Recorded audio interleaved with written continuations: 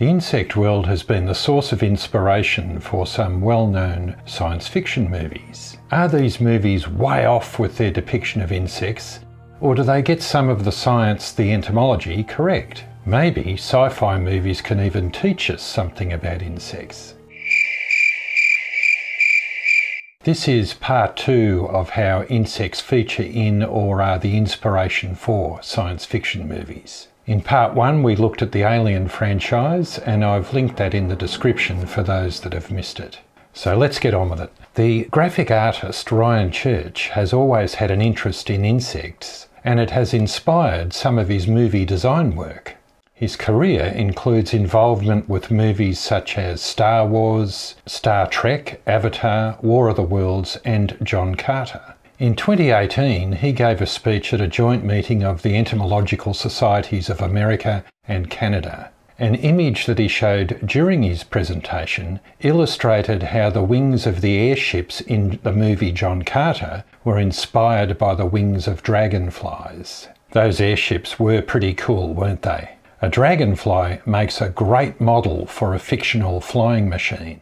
If you've ever watched one flying, you can see that dragonflies are very strong flyers. Dragonflies have been on Earth for hundreds of millions of years, and they were among the first insects to fly. Dragonflies were also the inspiration for the ornithopters in the movie Dune. The director, Denis Villeneuve, said about the design trying to get closer to the idea of an insect instead of a bird we were getting closer to a dragonfly cross mix with a helicopter.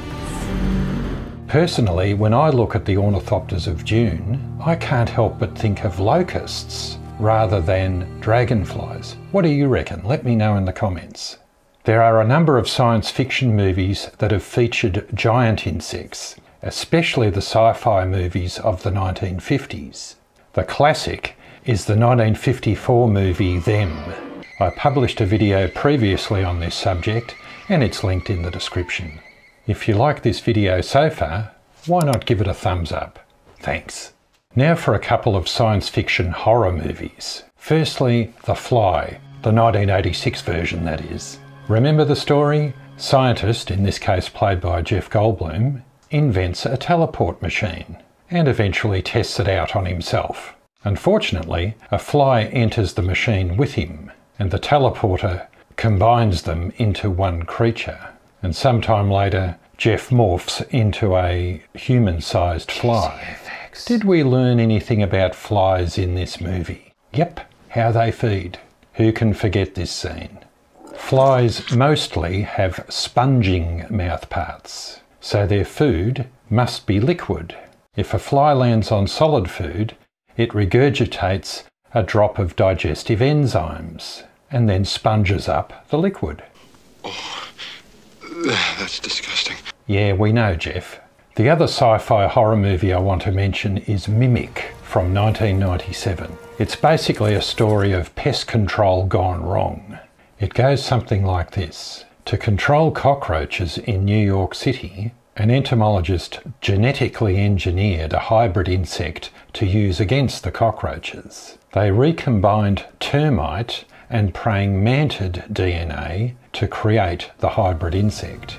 These hybrids released an enzyme which accelerated the metabolism of the cockroaches. Basically, the cockroaches burned more calories than they could take on board and so starved to death. Of course, being a movie, it doesn't all go to plan. But enough of the spoilers. The interesting thing here is that cockroaches, praying mantids, and termites are all related to one another. So the entomology isn't that far out in this movie. Despite being different in appearance and behaviours, they share a common ancestor in the superorder Dictyoptera. Dictyoptera means network wings, which refers to the network of veins in the wings of insects in this superorder. The first Dictyopteran appeared about 310 million years ago, and then our three insects, cockroaches, termites, and mantids, evolved sometime after that. Back to the movies. I'd like to briefly mention a movie that is not science fiction, but instead is an animated dark fantasy horror movie, Coraline.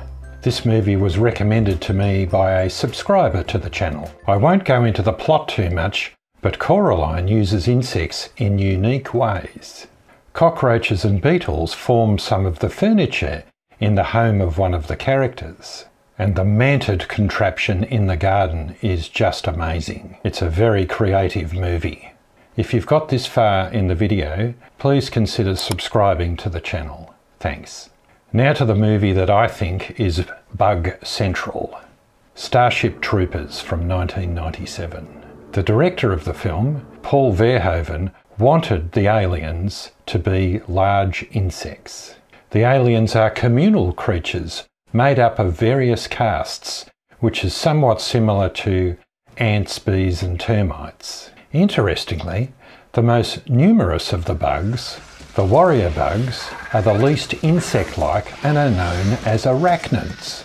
On the other hand, the huge tanker bugs are obviously giant beetles. Then there are the plasma bugs. These are huge beetle-like creatures.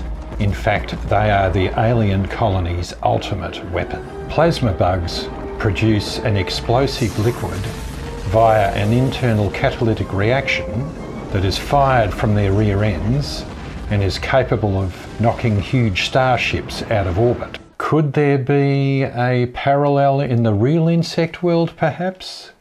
Yep.